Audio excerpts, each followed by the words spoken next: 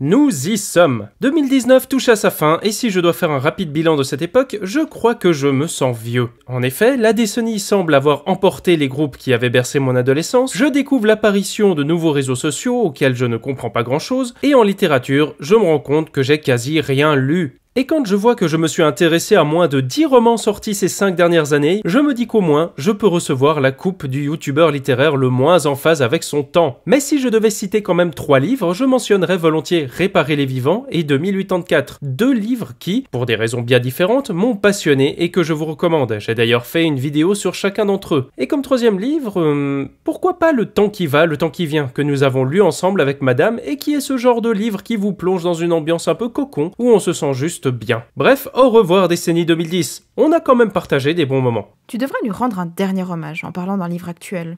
Genre, comme celui que tu viens d'évoquer C'est une bonne idée, je pourrais, mais je crois que je préfère parler de Lancelot du Lac. Ah Il est de quelle année? 1225 si j'en crois Internet. Bon, je laisse tomber.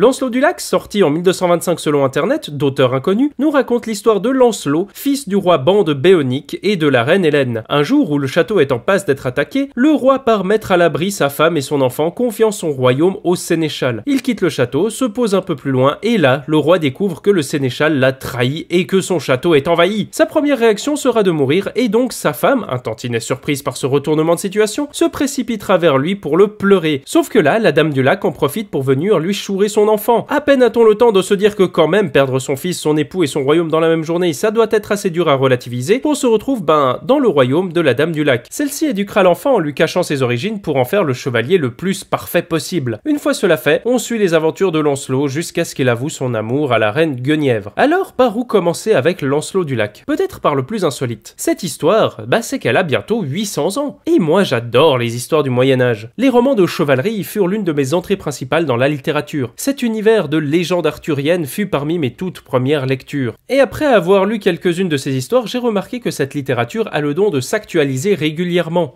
Et me rendre compte de ça me pousse à m'interroger sur notre culture actuelle. Est-ce que dans 800 ans, on aura une série sur Batman menant des conversations absurdes avec Alfred sur des sujets triviaux, soulignant néanmoins les paradoxes de notre personnage encapé On le saura pas, mais c'est rigolo d'imaginer. Bref, revenons à notre sujet. Est-ce facile de lire un texte qui a 800 ans? Bah étonnamment, je trouve ça super accessible. C'est une littérature bourrée de topos et de thèmes qui reviennent sans cesse. Ça pourrait créer un effet de redondance, mais vu l'ancienneté des textes, cela permet aux lecteurs d'aujourd'hui de repérer des ancrages au milieu de ces histoires. Par exemple, le rapport entre le chevalier et sa dulcinée se traduit généralement par une série de comportements à adopter. En gros, le chevalier doit tout faire pour prouver sa valeur et la dulcinée va systématiquement plus ou moins lui mettre des vents. Les deux en sont malheureux, mais on s'en fout parce qu'on sait qu'ils s'aiment. Et des récurrences, il y en a plein. Si vous croisez un sénéchal, c'est bien possible que ce soit un traître. Si vous traversez seul une forêt, c'est bien possible qu'il s'agisse d'une frontière pour des mondes féeriques ou diaboliques. Si vous tombez sur un ou, fuyez, c'est la couleur du diable Ainsi, lorsqu'on a lu deux ou trois textes de cette époque, les chemins sont vite balisés. Et puisque c'est une littérature qui joue beaucoup avec ses codes pour offrir des variations ou des méta-réflexions, voire même des parodies, on se laisse facilement prendre au jeu. Mais ce n'est pas le seul élément qui rend ces textes incroyablement abordables malgré la distance historique. C'est une littérature souvent généreuse, énormément généreuse. Dans le cas de Lancelot du Lac, on suit notre héros de sa jeunesse jusqu'à ses aventures de chevalier et on assiste ainsi à un paquet d'événements, car Lancelot a systématiquement des actions à accomplir. En plus de ça, on va suivre différents fils narratifs comme les histoires politiques entre les royaumes qui vont expliquer les terribles guerres à venir. On retrouve aussi de nombreux personnages connus aujourd'hui comme le roi Arthur et la reine Guenièvre. Bon, ils sont beaucoup moins fun que dans une certaine série à succès moderne, et Arthur a l'air un peu plus neurasthénique. Le schéma dans le livre ressemble à un Oh mon roi, il faut agir pour X cause random. Oh oui, je devrais, mais que faire? Puis on attend une centaine de pages pour en revenir à la situation.